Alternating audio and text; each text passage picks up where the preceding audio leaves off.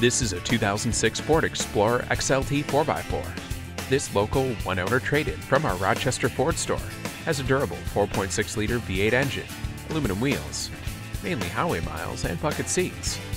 You'll also get cloth seats, the towing package, CD player, keyless entry, and traction control. Stop by, call, or email us today.